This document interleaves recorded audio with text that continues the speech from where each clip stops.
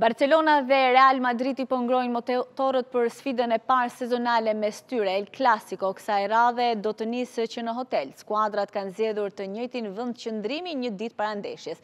Shkak i kësaj zgjedhje janë bërë protestat në Barcelonë dhe për arsye sigurie, skuadrat kanë zgjedhur hotelin Princesha Sofi, që gjendet shumë pranë stadiumit Camp Nou, ku do të luhet edhe ndeshja. Dy skuadrat do të vendosen në zona të ndryshme të hotelit dhe nuk do të ndajnë të njëjtën hapësirë. Nisja për në stadium do të bëhet në të njëjtën kohë për të dyja ekipet.